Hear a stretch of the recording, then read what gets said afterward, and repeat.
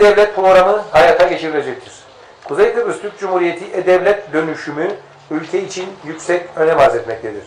Kuzey Kıbrıs Türk Cumhuriyeti'nin yapısal dönüşümü de yine e-devlet programı ile mümkün olacaktır. E-Devlet projesi sayesinde kamu kurum ve kuruluşlarının sahip olduğu ve olacağı bilgilerin sayısal ortamlara aktarılması ile kamu kurum ve kuruluşları arasında bilgi alışverişi de sağlanmış olacaktır.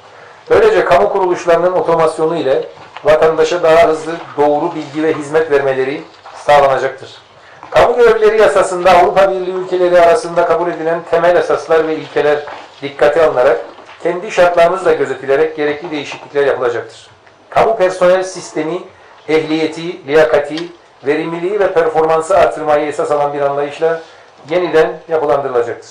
Üçlü kararname atamalarının kapsamlı dönem sonuna kadar daraltılacaktır. Avrupa Birliği müktesebatına yasal ve idari uyum çalışmaları, Başbakanlık Avrupa Birliği Koordinasyon Merkezi'nin eşgüdümünde ve Avrupa Birliği kurumlarıyla işbirliği içerisinde sürdürülmeye devam edecektir. Yurt içinde veya yurt dışında kamuda hizmet içi eğitim veya staj konusuyla ilgili teorik ve pratik bilgileri de içerecek planlamalar yapılarak yoğunlaştırılacaktır. Öncelikle acil ihtiyaçlardan başlanarak uygulanacak ve böylece kamu çalışanlarının nitelikleri artırılarak onlardan daha etkili ve verimli bir biçimde yararlanılacaktır. Kooperatiflerin denetim ve izlenme sistemlerinin güçlendirilmesi sağlanacaktır. Polis örgütünün ulusal ve iç güvenliği ciddi şekilde tehlikeye sokacak suçların önlenmesi ve suçluların ortaya çıkarılmasında etkinliğin artırılması için çalışmalar yapılacaktır. Her yaştaki yurttaşın beden ve ruh sağlığını geliştirecek, sporu kitlelere yayacak olanaklar sağlanacaktır. Bu amaçla yeni spor testleri yanında mevcutların da geliştirilmesi sağlanacaktır. Var olan altyapı eksikliklerinin giderilmesi amacıyla başlatılan çalışmalar hızlandırılacak ve ülke genelinde ihtiyaç olan yeni altyapı projeleri hayata geçirilecektir. Tüm spor branşlarını dikkate alan bir spor politikası izlenecektir. Spora ayrılmış kaynakların spor dalları arasında adil bir biçimde dağıtılmasına hassasiyet gösterecektir.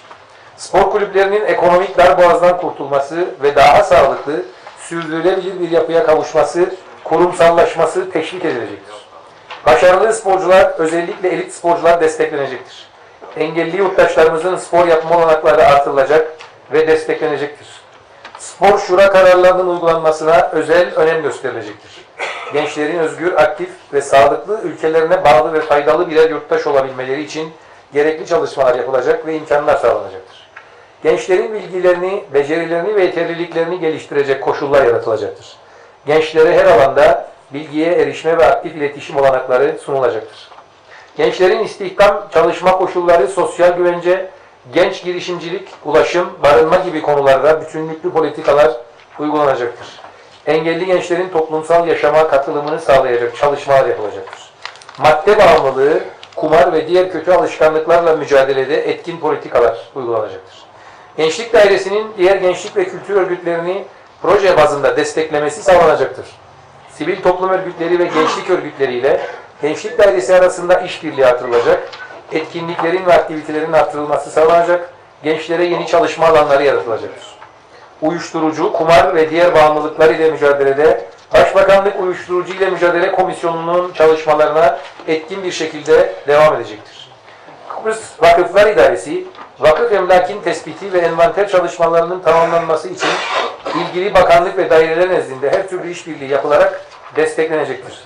Kıbrıs Vakıflar İdaresi yeniden yapılanma projesi çalışmaları hızlandırılacak. Vakıfların 445 yıllık süreçte Kıbrıs Türk toplumuna yapmış olduğu ekonomik, sosyal, kültürel katkının çağdaş kurumsal düzeyde artırarak devamı sağlanacaktır. Ülke yayıncılık sektörünün çağdaş teknolojiler kullanılarak geliştirilmesine yönelik çalışmalar somut sonuçlar elde edecek şekilde sürdürecektir. Bayrak Radyo Televizyon Kurumu'nun çağdaş yayıncılığın gerektirdiği dinamik yapıya kavuşturulması amacıyla yeni bir yasa taslağı hazırlanarak yasalaşması sağlanacaktır. Yeni yasal düzenleme ile Bayrak Radyo Televizyon Kurumu'nun içerik sağlayıcı yayıncılık ana görevi yanı sıra diğer kamu ve özel yayın kuruluşlarına daha etkin hizmet vermek amacıyla kurum bünyesinde ayrı birimler olarak düzenlenmesi ve işletilmesi sağlanacaktır. Devlet Planlama Örgütü personel ve ekipman olarak desteklenip güçlendirilecektir. İstatistik yasası çıkarılacaktır. Sayın Başkan, değerli milletvekilleri, KKTC maliyesinin yıllardır ana hedefi mali disiplini ve cari harcamaların yerel gelirlerle denk duruma getirilmesi olmuştur. Bizim de hedeflerimiz arasında bu husus önemli bir yer tutmaktadır. Ancak bu önemli hedefin başarılı olabilmesi için bir yanda cari harcamaları azaltmak, diğer yandan ise gelirleri artırmakla mümkündür.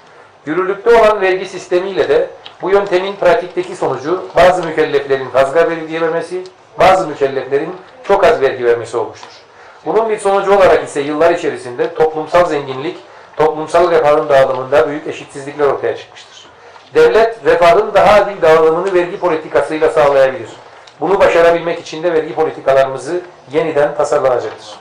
Vatandaşlarımızın vergiyle ilgili oluşan olumsuz algıyı ve vergi sadece kamu çalışanlarının maaşını ödemek için toplanır algısı değiştirilecektir. Ancak sorun burada vatandaşın algısı değildir. Vatandaşın gerçekte var olması gerekene işaret etmektedir. Vergi sistemini adil bulmamaktadır. Ödediği vergilerin sağlık, eğitim ve bunlar gibi temel ihtiyaçları sağlamak için kullandığına inanmamaktadır.